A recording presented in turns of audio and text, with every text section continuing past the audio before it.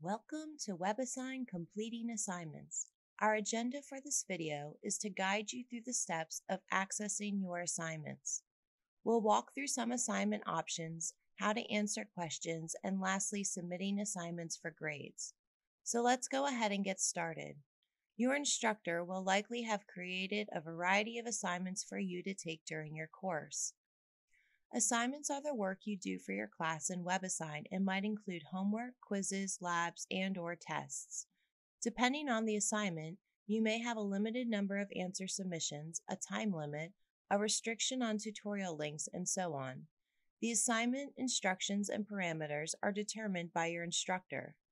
You'll get started by logging into your student account. If you have more than one course, use the drop down menu to select the course you want to work in. You can view and access your course assignments from several areas. From the home page, click the My Assignments link in the upper left menu bar. You can click on your calendar icon to see and access your assignments by clicking on the assignment title within the due date, or simply click the Current Assignments link in the My Assignments module on the home page. Wherever you choose to access your assignment, to begin an assignment, click on the assignment title.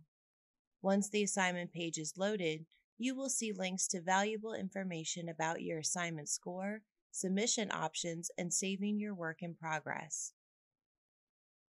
Within each question, there may also be enhanced action links to use tutorial materials such as ebook content, videos, animation, active figures, simulation, and practice problems. The links available may vary from one assignment to another, and your instructor has the ability to turn on and off many of the options in your assignment. At the top of your assignment, you can view your current score and the assignment due date. If enabled by your instructor, you can request an extension by clicking the Extension Request link. For a manual submission, enter a date you would like to have the assignment extended to and a reason.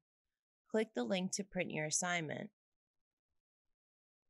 Navigate by scrolling or clicking on the question number in the question map at the top of your assignment. At the question level, view points, a link to previous answers, your question ID, and the number of submission used and the number of submissions allowed. The My Notes link will allow you to enter and save notes per question. If enabled, the Ask Your Teacher link will allow you to ask your instructor questions while in the assignment at the question level which your instructor can view and respond to. You may be asked to show your work, which you can enter into a question field and use the Insert Math button to use the math tools. Or you can upload a file that shows your work by clicking on Upload File. Various tutorial links may be included with each homework assignment. Click the Read It button to open the corresponding ebook pages. Click the Watch It button to view video solutions of a problem similar to the one assigned. The Master It button will provide you with a step tutorial problem similar to your assigned one. WebAssign uses a variety of question types that you are probably already familiar with, such as multiple choice, multiple choice with a drop down menu, and multiple choice by selection. You may see numerical questions. You can use your keyboard to input. You may also have a math pad, calc pad, or physics pad you can use to enter correctly formatted mathematical equations. Click on the answer box to have the palette appear. You can use the various graphing tools to enter answers for graph questions.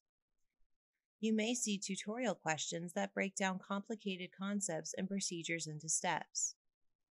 There are multiple ways to save and submit answers in WebAssign. You can view how the assignment submissions are set, here, you can view the assignment scoring strategy. Your progress on an assignment is automatically saved. Answers are auto-saved within 3 seconds, but saved answers do not receive credit until you submit them. Discard your saved work for a question by clicking Revert to the last response at the bottom of the question. To submit answers for grading, be sure to click the Submit Answers button for each question. You can submit one question at a time, or you can submit one question part at a time. This may depend on the assignment setting determined by your instructor. After you've submitted each question, your assignment is complete and you can navigate back to your home page. For additional help and resources, visit our training and support sites.